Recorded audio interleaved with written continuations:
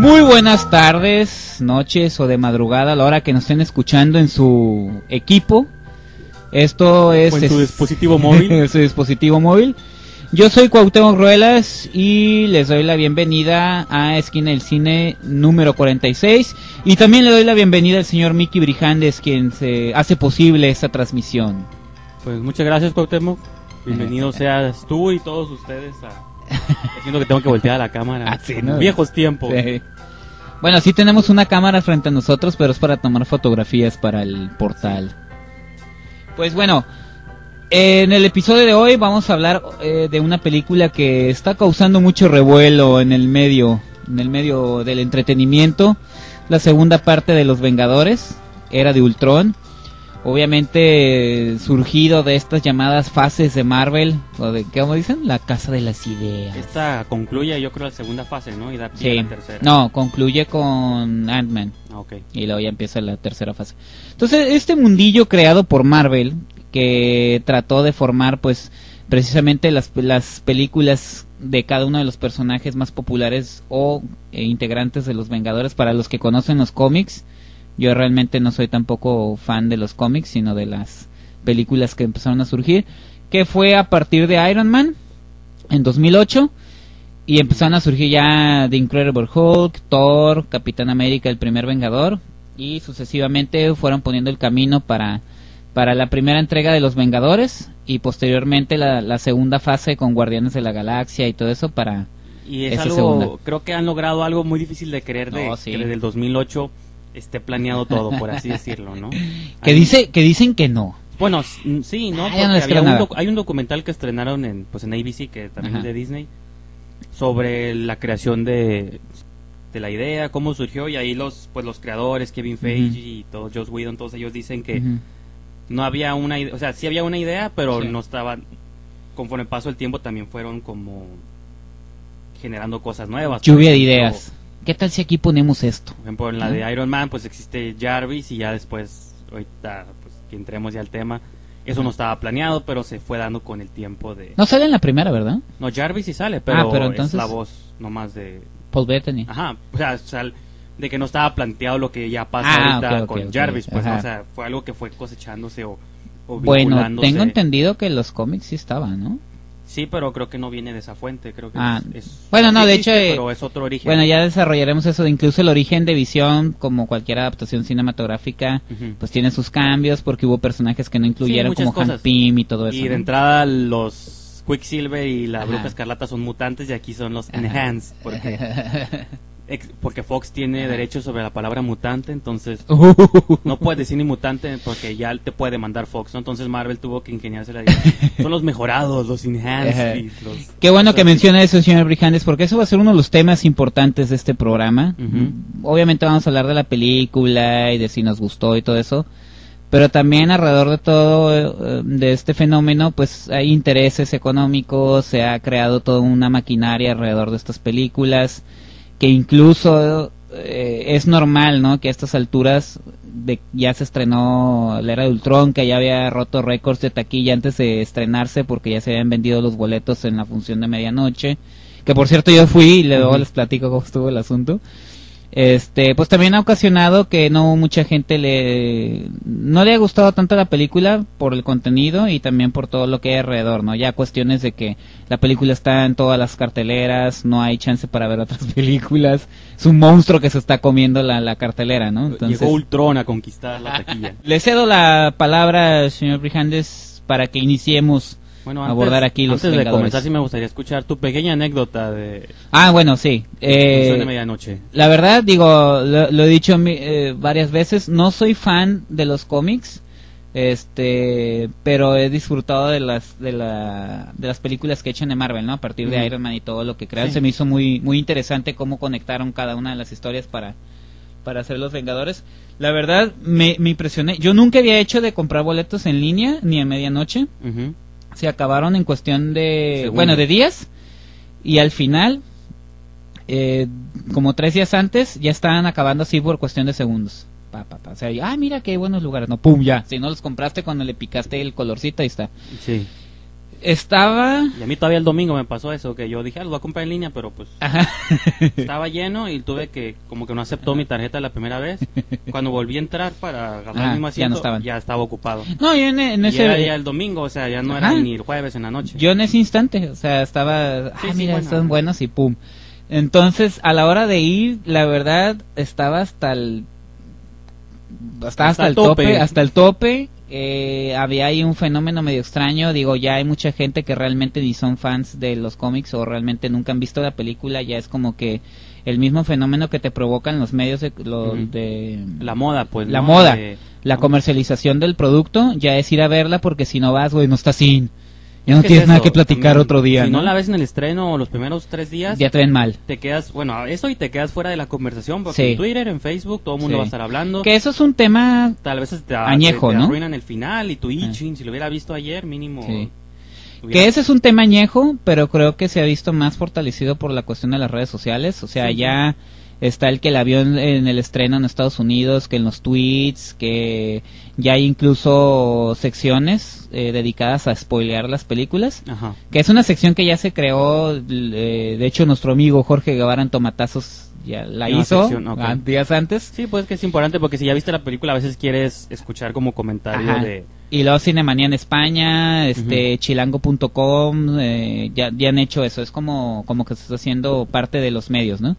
Entonces te digo, vi mucha, vi mucha gente, había gente que traía los cómics en la mano, que no leía ningún sentido eso, o sea, yo no sé para qué llevas cómics a la fusión. iba a estar Tony Stark para firmárselos. Sí, entonces ya era como una, una fiesta ahí porque traían, no andaban disfrazados, pero poquito faltó, ¿no? Con las playeras, ya sabes. De los Con Star Wars va a pasar eso. Sí, Eh, eh, qué bueno que lo mencionas, porque también va a pasar en diciembre. Entonces, sí, sí fue algo que no me había tocado ver. Estaba a reventar de mucha gente que incluso no lo iban a ver por primera vez, era la, era la moda. Pero sí, este, como dijo, rompió récords de taquilla mucho antes de que se estrenara. Y al final los comentarios se están dividiendo, ¿no? Otros están viendo como una situación demasiado exagerada alrededor de la película. Este, porque también digo, vamos a ser sinceros, llegas a cartelera y yo lo mencioné unos días antes porque publiqué una crítica de una película mexicana y sí dije, antes de que nos caiga el chahuizle Sí, y nos va- sepulten todo, bueno, por lo menos nosotros o Pero bueno. a los que nos han seguido les consta que, que no nos hemos hundido en esta vorágine desesperada. O sea, a mí lo que me llama la atención es que a partir de que esto sucedió, sí se ha generado como una, una ola de, de hate, como dicen, de odio hacia la película. Eh, pero esas personas que a lo mejor no le gusta Avengers y se quejan de eso, no se van a quejar en diciembre si son fans de Star Wars, ahí van a estar a primera hora todo, o sea, es un es una es una maquinaria alrededor de la película que después de que la ves o antes de todo mundo estás pagando. La película está generando dinero, Star Wars está generando dinero incluso antes de estrenarse. Entonces a mí lo que me llama la atención es que muchas personas de las que he escuchado que se quejan sobre esta situación son los que van a estar en diciembre viendo Star Wars.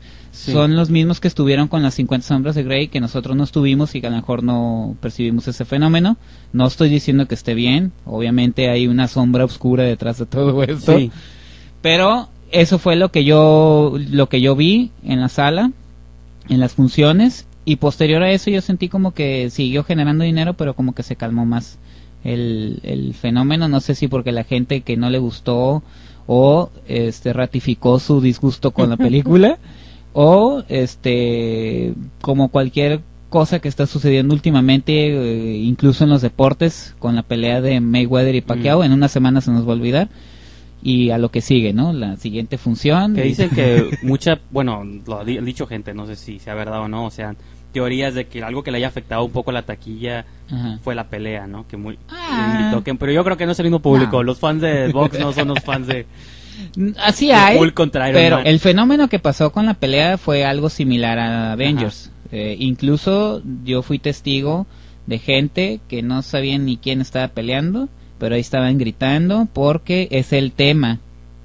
El tema de la semana fue Pacquiao Mayweather, aunque no supieras quién chingados eran Pues, ni qué es que películas tenían. ¿no? Eso es, Y lo mismo. es una de las pocas cosas, bueno, no sé si tú lo ves como algo bueno, algo malo o indiferencia ante esas situaciones como las peleas o ir a ver una película. Ajá. Yo no tengo nada en contra de la gente que no está, sabe de nada, pero Ajá. pues ahí va, porque también es como exigirle de No, yo no estoy criticando, se- estoy diciendo que es, es un fenómeno similar como a los Vengadores. uno con más permiso nomás porque sabe más cuando Ajá. yo creo los vatos que sí leían los cómics Sí. van a decir, oh, cuando a mí me gustaba, ¿no? Cuando Thor nomás lo compraban tres personas y ahora... Mira, uno lo mismo pasa con Thor, ¿no? Comic Con. Entonces, Yo conozco gente que dice, antes el Comic Con no era eso, Ujú. era para los fans. a mí Y ya no quiero ir, güey, porque Sí, te echa sí. un monstruo, ¿no? A mí me gusta cuando las cosas, porque al fin y al cabo, bueno, siempre lo hemos debatido, el cine dentro, o sea, es como la combinación perfecta de comercio y arte, ¿no? Al fin y Sí. al cabo, sí es un producto comercial, culturalmente relevante, ocupamos verla para estar en la Sí. conversación, pero el cine es de las pocas cosas que te generan discusión, pues porque estamos grabando Ujú. nosotros este programa ahorita, pues no es, no nomás pagas por esas dos horas de entretenimiento, estás pagando como para para ir a tu casa a platicar con tus Sí. compas, con tus conocidos, subirlo al internet, tus Sí. videos, tus, tus blogs, tus Ujú. podcasts, digo. Entonces, eso es como lo para mí lo curada del cine, pues es donde creo que tiene como eso, Ujú. todavía tiene como ese valor Sí. de arte o culturalmente importante, pues, ¿no? Eh, de masas, ¿no? Independientemente del contenido, pues, ¿no? Porque ahorita tú mencionabas, bueno, una plática también fuera del micrófono sobre Birdman, de que si es película comercial o de ¿Cuál? arte, la de Birdman, Ah, sí, sí, sí. o la nueva esta que están haciendo. De, de Revenant. Entonces Ujú. digo, es que al final si, se- si está en taquilla y le estás dando la Ujú. opción a la persona que la pague, pues ya. Ujú. Lo que suceda después está en nuestras manos, ¿no? Ahora, también está la otra parte, digo, y de esa, aunque a mí me gustó Los Vengadores y la consideré, bueno, la considero mejor que la primera, este, también se me hace como una grosería lo que pasa en cartelera. Y fue lo mismo que pasó con Rápidos y Furiosos Sí, y con con las todo, 50 pero- sombras de Grey, que igual ya no te dan opción, es, a huevo la vas a ver. Porque, porque ya no tienes de otra, pues quiero ir al cine. Hay gente que igual va al cine y no sabe qué ver, ¿no? Pues Ajá. Y ves, pues están todas. pues están todas. ya nomás decides en qué formato, ¿no? Ahí es donde ya se pasa más al lado, Ajá. este, como dices tú, la maquinaria industrial, donde al Sí. fin y al cabo, o sea, el cine, sí entiendo la queja, pero también el cine no tiene ninguna obligación de, de poner, bueno, creo yo, o sea, a pesar de que a mí sí me gusta el cine como más alternativo, tal vez otro tipo de propuestas. El cine, la compañía de cine no está obligada a ofrecerte variedad, ¿no? Está, que es el debate también que hemos llegado a tener, o que se ha llegado a tener con el cine mexicano, pues que ahora Claro. hay más presencia mexicana en cartelera, Sí. pero el clásico debate que estuvo por muchos tiempos de que es que el cine no las pone, pero Ajá. no las pone porque son malas o la gente no quiere ir a verlas porque no les gusta. Ahora creo que el cine tal vez ofrece un, ofrece un poco más de calidad, pero Es, es, es, Es muy ambiguo también. el eso. eterno debate, ¿no? Eh, sí están las sí hay películas mexicanas muy buenas que pueden jalarte a taquilla pero que también han sido víctimas de poca promoción y también hay aquellas películas que de plano dices tú bueno la misma gente a mí me consta por decir hace poquito salió una lista de las películas mexicanas buenas que nadie peló. Entre ellas está Insólitos peces gato que es muy buena eh, que a mí me consta que son películas comerciales y Sí, que la sí. poquita gente que la vio todos quedaron como Me que en el mismo canal de que estaba muy buena. Y también está el otro caso de películas como Güeros, que cuando se estrena, que viene con un hype de crítica de que la película que, así literal dijeron, la que va a cambiar la, la, el- la visión del cine mexicano y todo eso. A mí me consta que en la sala había bastante gente preguntando por la película. De entrada no la pusieron, ya lo platiqué en un Sí. episodio pasado porque no se descargó la película. Después fue a verla, había gente y la gente estaba saliendo de la sala ahí ya no es culpa ni del distribuidor ni No, de, es de que la es de que película- la película no le gustó a la gente Eh, esas son otras cosas la otra también sí es cierto o sea la batalla contra estas grandes producciones que están hechas con una maquinaria para estar en cartelera y con comer igual si no te interesaba la película dices ay ya la quiero ver Como Ant-Man, ¿no? la quiero ver ajá como Ant-Man o sea Ant-Man es un personaje que yo nomás lo vi en unas animaciones en unas películas que salieron de, de Sí, sí, Ultimate de Avengers cosas así. yo para mí no tengo ninguna base del pero la vas a ir a ver Y aparte es porque es parte de la fase de Marvel. Y vi el tráiler antes de la película y sí está un poco ridículo, pero Muy en el corte de Guardianes de la Galaxia. ya después de Guardianes de la Galaxia creo que Marvel ya y ahorita lo vamos a mencionar un poco más con. Ultron, ya se le permite a Marvel hacer todo lo que quiere Sí, y esto lo- también lo quiero relacionar un poquito con algo que también vamos a hablar de Daredevil, la, de- la serie de Netflix. Yo les recomiendo que si no han visto la era de Ultron, Ajá. vean primero Daredevil y ya luego vayan al cine a ver y ahorita les voy a explicar por qué. Oh, ven. ¿Mande? Qué bueno porque, a ver, ya me Porque yo tenía ese miedo de...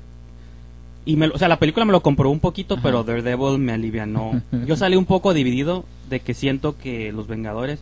No voy a decir eso de que ya va a destruir el cine, los cine- el cine de superhéroes está muerto, pero Ajá. creo que esta película es más de lo mismo. Ajá. Está cura, o sea, sí está entretenida, o sea, este hace valer su boleto Sí. y hasta más, ¿no? Ajá. Pero creo que es un poco más de lo que ya hemos visto. Se- tiene un poquito de Iron Man 3, tiene un poquito de los primeros Vengadores, pues son los mismos Vengadores. No, Este, La batalla final es muy similar. Tonos que se planteaban desde Ajá. eh, Guardianes de la Galaxia. Y yo no he visto Shield ni nada de eso, pero No, creo que de alguna manera está conectado. Dicen ¿no? que sí. Dicen por ahí que lo de Shield ocurre entre la, entre la película 1 y la 2. Ah, ok. Y que la season final o la el episodio Ajá. final de la temporada de Shield termina justo donde empieza la película, ¿no? La nueva de los Vengadores, porque ya Oh. ves que, bueno, eso lo leí porque yo no la he visto No, la serie, nunca he visto tampoco la que- serie. que al final de la serie sigue la película, ¿no? Porque ya es que empieza con esa secuencia de acción que no te Sí. explican pues de dónde salieron, ¿no? Pero ya están buscando al varón y no sé Yo qué creo onda. que ese es el mayor valor. uno de los méritos más grandes tiene Marvel y es donde yo sí me Eso. hinco ante ellos y cuando si algún día conozco a Kevin Feige y todo ese staff pues no sé cómo lo lograron están haciendo con el cine lo que las, ha hecho la televisión han hecho los cómics por años. Sí. por eso cuando hablan de las ridiculeces es. de los co- de las películas o eso de Ant-Man digo los cómics entre el papel y el video ya no hay diferencia pues no ya uno tiene que aceptar todas esas ridiculeces, las incoherencias de que de dónde yo sí quedé bien confuso, o no menos tal vez no entendí de dónde sacó los poderes la visión, pero no importa, o sea, ya acepta que ahí está, pues, ¿no? Pues la creación física fue la doctora Cho. spoilers aquí también. Ajá. Y la mente fue a partir de, De la lo de la gema Ajá. y lo y la conciencia es de Jarvis. Lo único que iba a cambiar en visión era que si le metían la conciencia de Ultron, Ultron iba a ser malo. iba a ser Ultron, iba a ser malo y le metieron la de Jarvis, pero no es ni una ni otra cosa, solo existe. Sí. Entretenimiento para niños también, ¿no? Que también la etapa de los cómics de Marvel tuvo una etapa muy baja en su momento cuando decían que ya ni las imágenes tenían sentido, que las historias ya tenían muchos universos cósmicos y Sí, otros sí. mundos. Y creo que esto va para allá también. Ajá, eso es a lo que voy, o sea, ¿qué esperaban? Se iba a madrear en un momento. Con, con Guardianes de la Galaxia, pues ya te planteaban que hay estos mundos interplanetarios Ajá. y los tatanos por allá y todo. bueno, desde Thor. Ahorita están, bueno, sí, Thor, pues sí, Thor de entrada, que es un dios que abre Entonces, Ajá. Todas las películas se han estado empujando para eso. Entonces, Sí. tacharlas de ridículas creo que no vale ese argumento porque así eran los cómics también, pues, Ajá, ¿no? ridículos. O así son. O sea, esto hay que aceptar todas estas cosas, que todos estos personajes existen. Y yo tenía como este miedo, o tal vez todavía lo tengo, de que Marvel se quedara nomás en eso, pues de, ok, los Vengadores ahora van a pelear otra ser. batalla intergaláctica, sí, pero aquí es donde entra lo de Daredevil que mencionaba, Ah, ok. donde como, si tú ves Daredevil antes de ver esta película dices. Marvel también está contribuyendo por Ajá. lo sucio, lo callejero, o sea, Daredevil existe junto con los Sí. O sea, el- mientras todo esto pasa en la era de Ultron, Daredevil estaba peleando ahí con Sí, eso yo también lo dije, es que también lo dice Iron Man, eh, o Tony Stark. Nosotros vamos a pelear contra estos seres intergalácticos. Y yo me quedé pensando, mientras los humanos, ¿qué pedo? Ah, pues ahí está Daredevil. Entonces, y los defensores, eso ¿no? es a lo que voy, o sea, está curada porque es haber visto la serie. Digo, no están conectadas para nada, más que son de Marvel, pero me hace sentir como esta seguridad de que, Sí, hay una conexión, pero muy leve. se va, de que Marvel aún va, puede entregar estas propiedades chiquitas, o sea, más terrenales, y por otro lado está Sí. lo otro. Y sí, Espectacular. uno puede decir, pues Thor bien podría detener a Ajá. Kingpin de un golpe, ¿no? pero no, si ya existe en el mismo mundo, pero entonces yo por eso recomiendo eso, si creen que se está saturando como Marvel de cosas intergalácticas, vean esto, esta serie, porque eso te va a hacer recordar y me hace como darles muchos más aplausos a, Sí. a lo que están haciendo. Creo que va a llegar un momento donde las películas más curadas van a ser las individuales en lugar que las de O las series. o las series, que Porque también tienen son- más tiempo para desarrollar. Ajá, eso. Regresando un poquito, retomando lo que dijiste de Daredevil, algo que a mí me gustó, o digo, la ventaja de hacer una serie, son tres episodios Sí. en la que puso eh, los, los creadores de Daredevil desarrollar al personaje, incluso el villano, a otros niveles, Sí, sí. y llamarte la atención de su desarrollo y sus temores, ¿no? Y sin estar con esta bronca de que hay que expli- explicar todo bien Sí, rápido. Locura, locura es que haya para todos, pues, ¿no? O sea, que así como alguien va a decir, para mí, yo creo que después de Guardianes de la Galaxia, Daredevil es lo mejor que ha hecho Marvel, Mm. en mi humilde opinión. Yo sí soy, yo soy fan de Batman, el personaje, pero creo que en comparación con lo que ha hecho. Marvel, creo que sí se queda corto. No es cuestión de gustos, Sí. porque hay gente que sí le gusta Bueno, hay que tener en cuenta que Lo- que hace... la oscuridad de... Ese, ya viendo los Vengadores, la oscuridad de Marvel, de DC ya no me gusta. O sea, como esa necesidad de hacer hasta Superman depresivo. y-.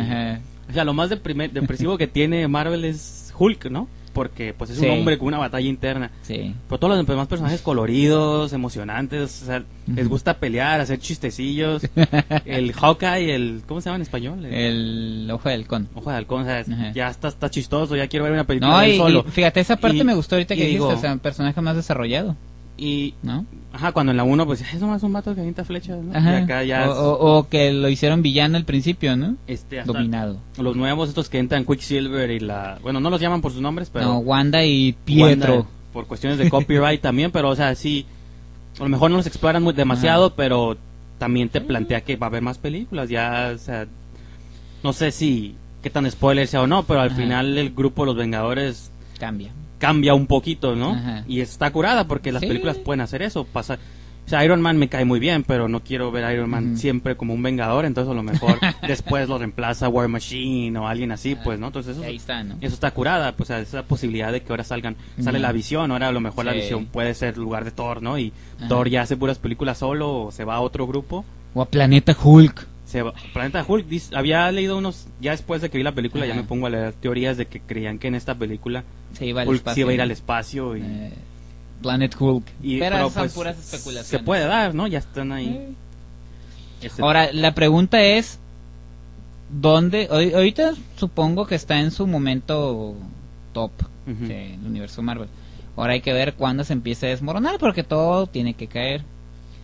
pero, por ejemplo, aquí Me, ya- me pregunto, ¿en qué momento vamos a empezar a notar así de plano que ya se le están acabando las ideas o que la gente ya se está hartando? Porque la gente también se cansa. Sí, o sea, yo creo que se cansarían si les ofreces. O sea, yo creo que ya llegar el punto y yo creo que no va a pasar hasta que salga la de la de Infinity War, no sé cómo se va a llamar, la de. Ah, sí, eso sí ya está. o sea, creo que. Eso ya está pactado. O sea, sí, o sea, yo creo que hasta que no pase eso, yo creo que después los todos los genicillos de. Marvel tienen que juntarse en un cuarto negro, así en una mesa, en una sala, ¿cómo se llama? La sala de control, güey, Sí, como sí, la de sí. Casa Blanca y decir, después de aquí hay que replantear como para dónde va el universo. Marvel porque yo creo que después de esa de, pues imagino que van a pelear contra Thanos y Guerra Civil y todo eso, ya no puedes seguir haciendo estas películas de los Vengadores. O a lo mejor haces otro equipo, o no sé, y a lo mejor para ese entonces ya recuperan a los X-Men, ojalá. Que yo siento que ya están tomando como cartas en el asunto con Daredevil. Sí, Creo que ahí Marvel está consciente de que en algún momento en, te- en cine nos vamos a, como ya mucha gente se está, no le gustó la película de los Vengadores y todo, Sí, ya sí. se están molestando con el universo. Entonces Netflix está como, bueno, Marvel está buscando como otra, mm, eh, otra puerta con Netflix y sobre todo con estos contenidos digitales que ya la gente está viendo en todas partes y ya está, eh, siento que el conejillo fue Daredevil, sí. funcionó y se van a seguir, ya tienen planes, ¿no? Para hacer cada una de las historias de los sí, al defensores. final se van a juntar, ¿no? En una película. Que creo, Luke. Cage, este, Jessica Jones. Iron Yo, yo, verdad, desconozco a todos, o sea, Yo yo, también. pero como entretenimiento está curada, pues, ¿no? Sí, o sea, sí, como tener la posibilidad Es, de ver es como cosas. respaldarse en estos personajes que no son tan populares a través de historias que pueden incluso llamar la atención de le- gente que ni siquiera es fan de los cómics. Público, exacto, porque a alguien que no le guste Vengadores, yo creo que le va a gustar un montón Daredevil. Todos los fans de DC, del Eh. oscuro de Nolan y todo eso, para ellos está Daredevil, pues, ¿no? Porque yo creo que les va a gustar. También digo, es fácil como uno sentarse aquí y criticar, pero Ajá. creo que Marvel está haciendo más cosas bien que malas. En... Yo sé que mucha gente odia como el de eso del lo que es, en que se ha convertido el cine entretenimiento de Hollywood, lo que Ah, sea, pero también, ah, que ya lo habíamos platicado también. creo que es un tiempo como, o sea, no se había hecho antes porque no había la tecnología, las ganas, el interés, las cosas. posibilidades. Creo que es un yo sigo creyendo que las mejores personas haciendo cine de entretenimiento ahorita es Marvel, ¿no? O sea, como Sí. Disney, por así decirlo.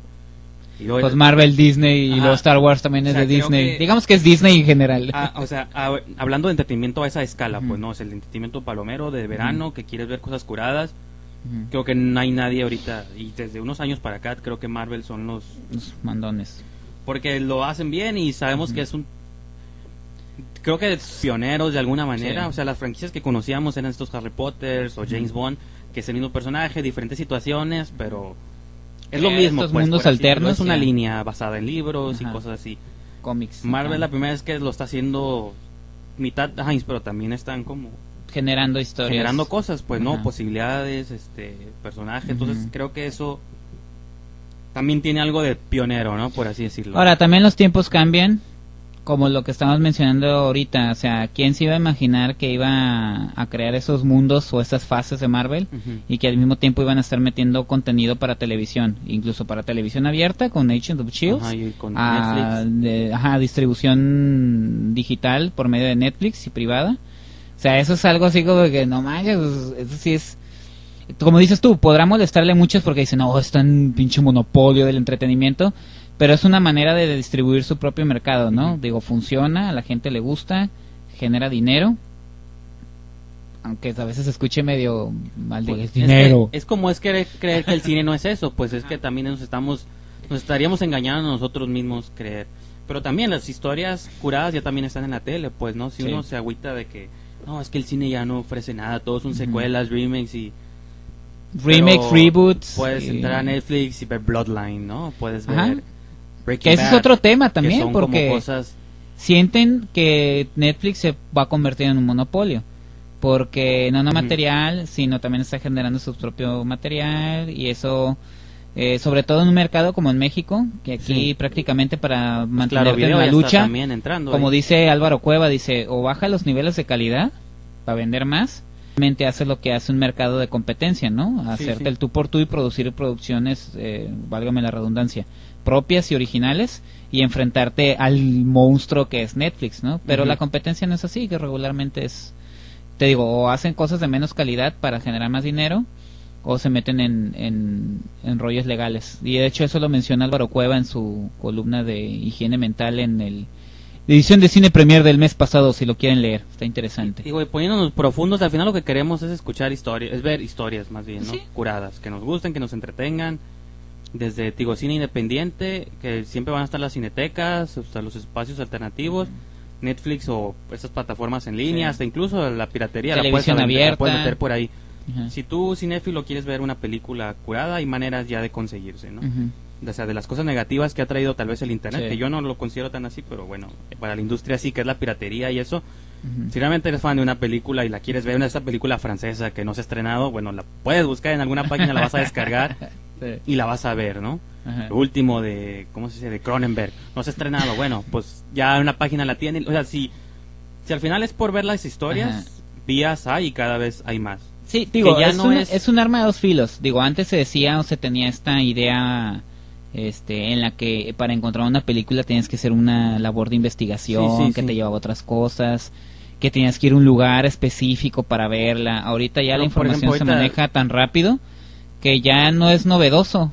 Nada de lo que muestres en algún lugar, incluso como dices tú, como lugares culturales, todo eso. Pero por ejemplo, ahorita la Ajá. Cineteca tiene una selección, bueno, vi que van a, no sé Sí. cuándo empieza ni cuándo termina, pero vi que son como películas de terror de la Hammer y cosas. Finder General, que es esta Sí. curada. Y luego Pues, vi sí. que está, van, van a poner como varias películas como de Drácula, ¿no? O sea, Ujú. digo, lo de las clásicas, ¿no? Digo, Ujú. pues ahí está como esa opción de ver películas, pues no, que no sea Cinépolis, Cinemex, Cinemastar o... Bueno, y mientras eso existe y esperemos que siga existiendo y que siga existiendo material para eso. sea, y sí. creo que también es algo que hemos hecho aquí en el programa, también. No enfocarnos únicamente a lo a la mercadotecnia, a la- digo al- a, los blockbusters, sino también hablar de eso otro que está disponible que a lo mejor la gente no puede ver o esa película que sí logró sobrevivir ante el- el- la, la embestida que vino a dar a Avengers, que sí fueron varias y algunas muy interesantes.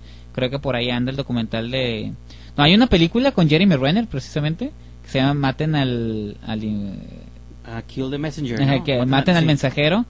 Por ahí se quedó también una película mexicana que se llama el último trago de unos viejitos. Ah, Que tú te... ¿Qué, qué Pues es yo, nomás- eso? yo no vi unos viejitos, dije, ya...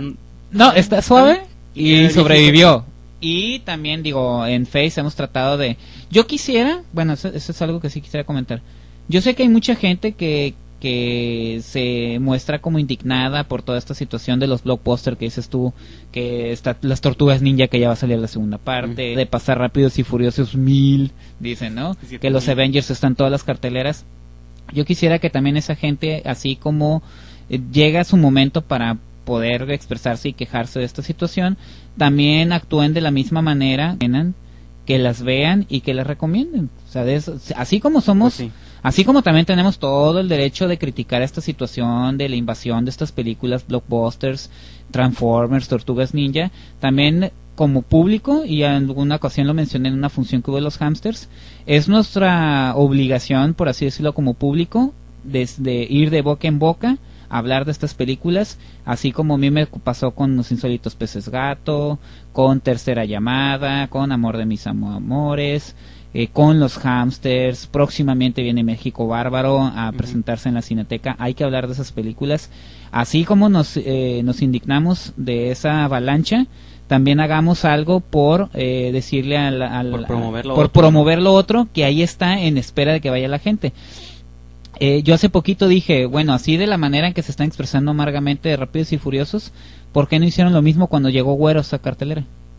O sea, empezaron a hablar de Güeros cuando se fue de la cartelera. Pero ahí estaba. Sí, Ahí estuvo una semana entera. eso también habla del tema que también a la gente le gusta quejarse, ¿no?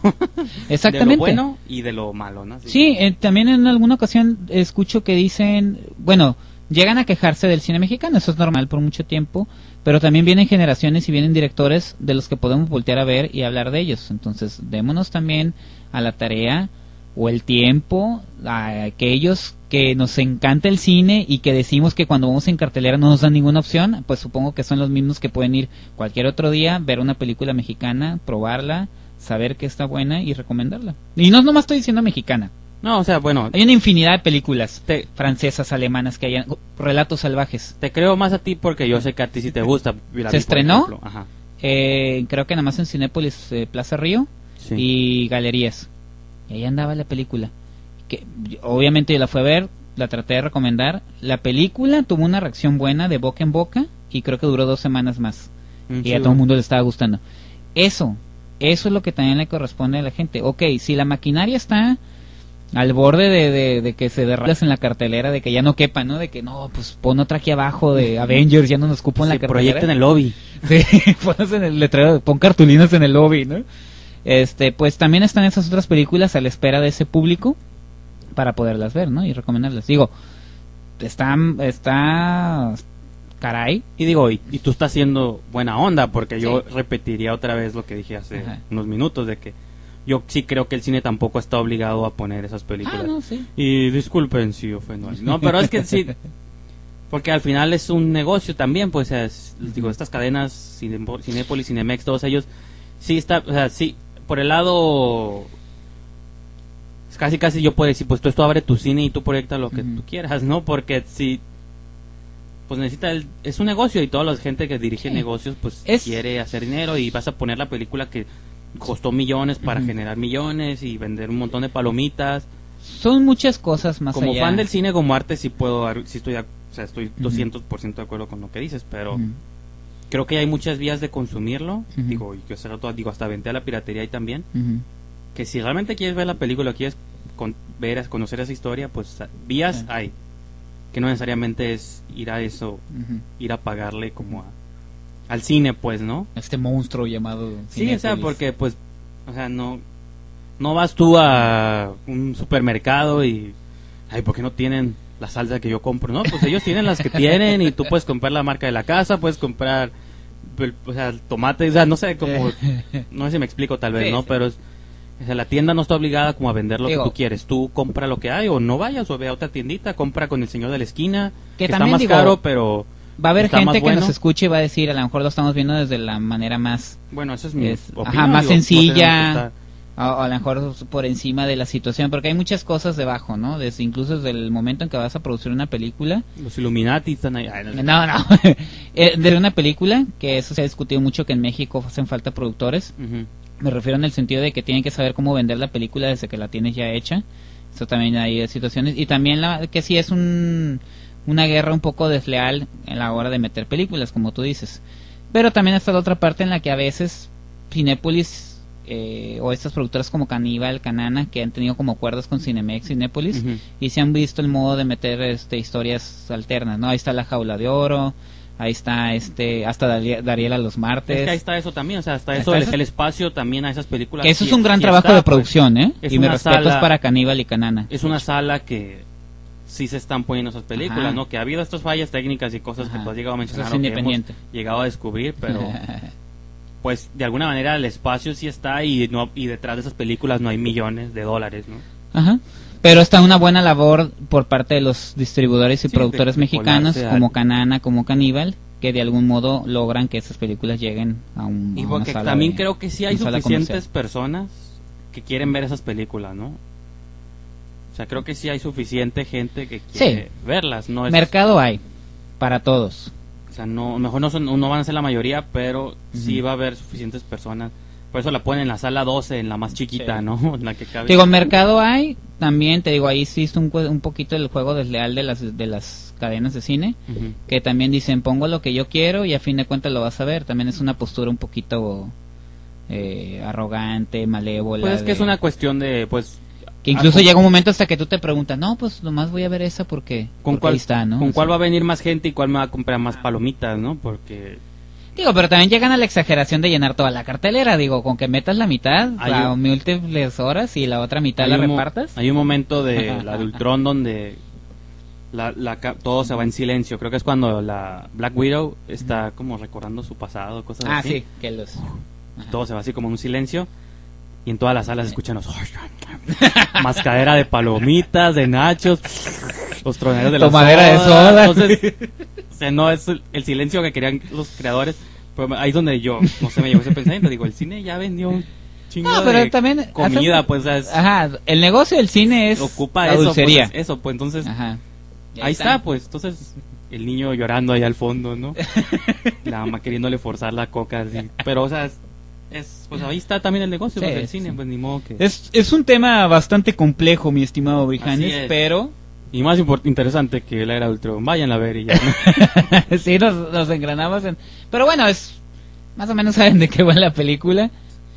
Pues eso fueron nuestros comentarios, señor Brijanes. Creo que nos extendimos en un tema, no sé si divagamos mucho, Tal vez.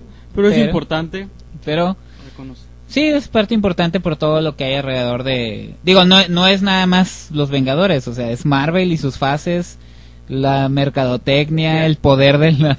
Que al de la final es lo que tú llegaste a decir con lo de Rápido y Furioso. No sé si Ajá. respecto a la película o que alguien más lo comentó, pero Ajá. si es un cine que no te gusta, Ah, no por sí. más que nosotros digamos vaya a ver, no la van a ver. Sí, ya, porque ya- ya lo dije. ya haces menos el cine de Hollywood y todo eso. Nada como el cine de Xavier Ajá. Dolan o Jim Jarmusch. Bueno, ya No, pues ya. son gustos, ¿no? Sí, yo lo dije, si a ti no te gusta el cine de No, acción, no lo. Rápidos y Furiosos no va a cambiar tu punto Por más de que vista. nosotros digamos, de vas a decir, "Nah". Ni van a ver Daredevil, yo sé. Pero Y fíjate que alguien me preguntó, ¿eh? Y le dije, ¿te gusta el cine de superhéroes? No, a mí casi no. Ah, entonces, Los Vengadores no va a cambiar o sea, tu opinión. Es lo mismo, Sí, vas o sea, monos volando. sí. dije. Pero si, si, si, o sea, si, pues si eres alguien que sí te gusta Tomo, pues digo que ya la viste, ni siquiera van a esperarse como a la, a la recomendación, pero creo que es importante como más este comentario de que, al menos para nosotros, que representa como Sí, este cine dentro de la y escena. lo que hay ¿no? alrededor, ¿no? Y porque pues todavía tenemos, ahí viene Jurassic Park, ahí viene Mad Max, así quiero Y Star. Wars. Bueno, Star Wars todavía nos faltan unos mesecitos, pero, Ah, pero... en lo inmediato la de Mad Max creo que está interesante como ver qué va a pasar también. Aunque con- eso es, todavía va como un mercado más de culto. específico, ah, porque Sí. creo que no le va a ir muy bien No. aquí, va a ser como un dread, vas a ver, o un poco más. No, menor. tiene de dos.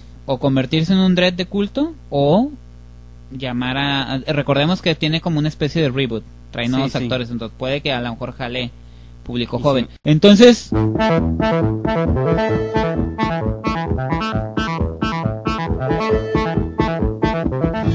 Esto fue parte del episodio número 46. Espero que lo disfruten, que comenten. Ah, por cierto, los invitamos a que ingresen a las redes sociales en arroba, arroba esquina del cine, arroba cinemático café y, y- e ingresen a eh, youtube.com el cinemático TV para que vean este episodio y los anteriores y también estamos en Facebook, ¿no? Facebook.com eh, esquina del cine para que nos den un pequeño like y nos sigan. Entonces nos despedimos. Señor Rijandes, fue un gusto. Igualmente. Nos vemos. Nos vemos en la próxima, en el próximo episodio. Hasta luego.